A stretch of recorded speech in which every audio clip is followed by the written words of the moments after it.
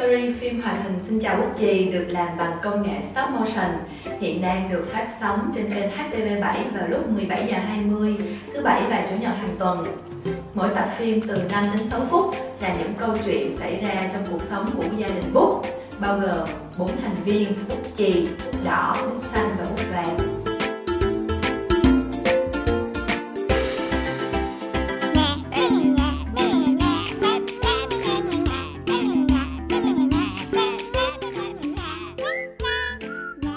Bút chì với tính cách thông minh nên luôn là người đứng ra giải quyết những vấn đề của gia đình.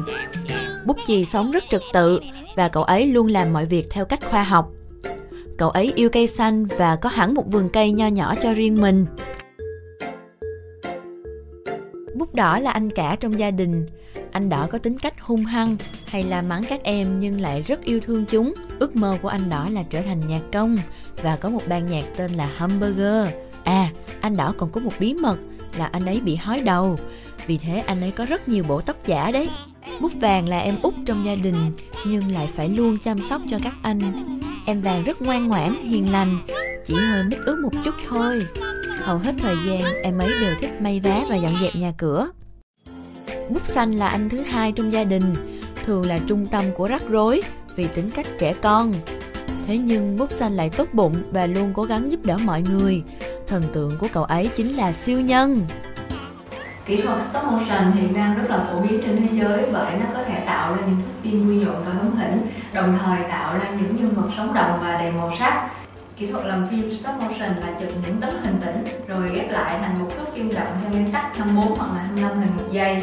Ở đây thì chúng tôi đều tạo các nhân vật từ đất sét để chúng có thể cử động được mềm mại và linh hoạt. Trung bình mỗi tập phim thì chúng tôi chụp khoảng 10.000 tấm ảnh.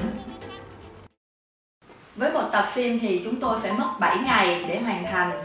Xưởng phim hoạt hình của chúng tôi hoạt động theo một mô hình khép kín từ khâu kịch bản, storyboard, thiết kế bối cảnh, tạo hình nhân vật, hậu kỳ cho đến khi hoàn thành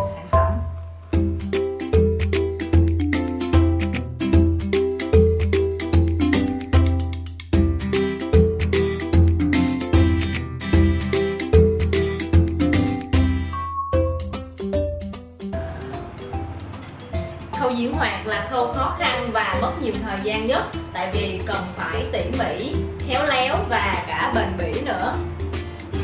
Đây là những đạo cụ trong phim rất là nhỏ và được tính với đơn vị là mm bởi vậy cho nên là animator làm việc phải rất là tập trung, khéo léo và còn phải tinh tế nữa.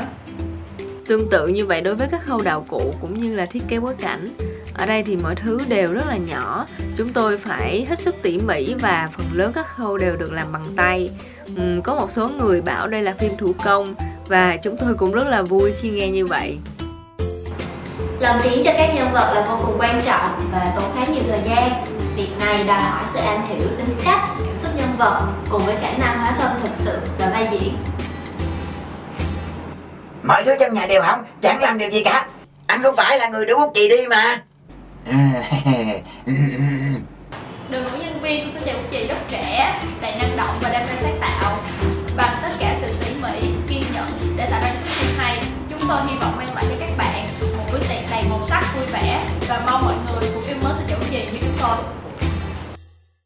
Thông minh là bụt chị tôi bạn nghe, em út tôi là bụt vàng hay là nhẹ, hống hăng là đo còn xanh thì ngông.